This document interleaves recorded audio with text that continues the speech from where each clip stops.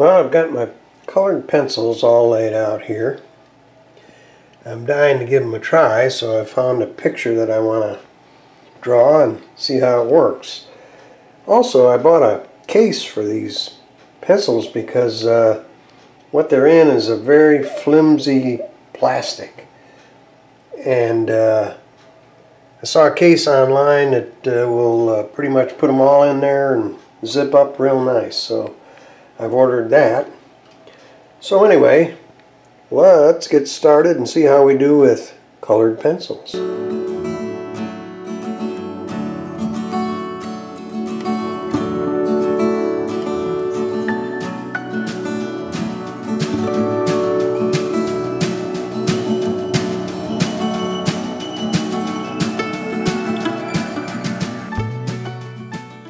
I've never really used these uh, colored pencils before. I've had colored pencils, but never really got into them.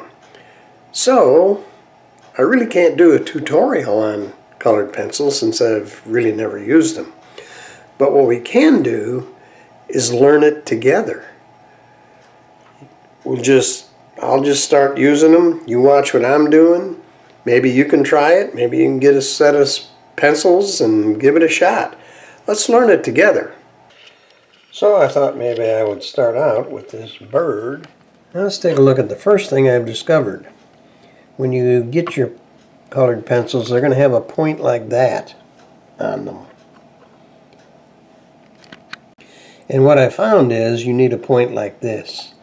You cannot do much with the point that comes on the pencil right out of the package. Now this is a good handheld pencil sharpener. Uh, good for lead pencils, basically.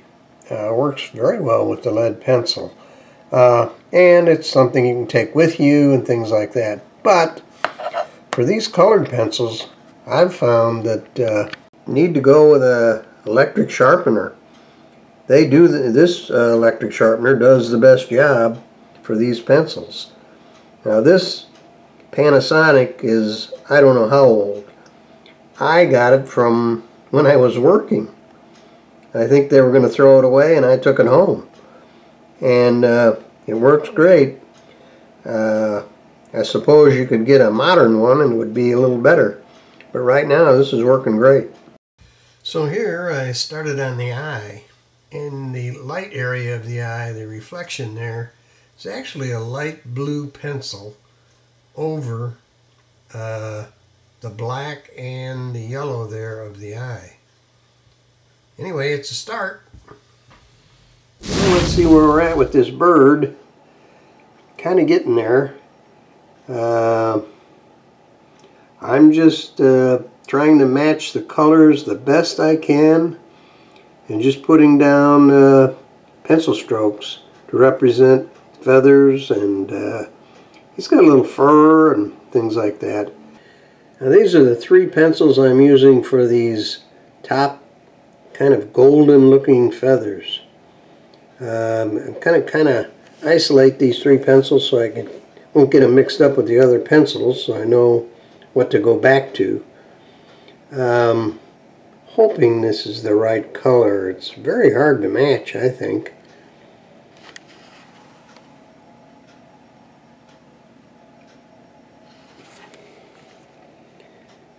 So we'll see how it turns out. Okay, now I'm going to start on the lower feathers here. And these are the pencils I'm going to try and use to get these feathers. because they're not hairs, these are actually feathers. So I've got to uh, find a way to uh, convey that. See if we can do it. well, this was an interesting experiment. Um, not thrilled with it. I don't think it's too bad, but it's a learning experience. Well, if you gave this a try, we'll see how we do next time. See you then.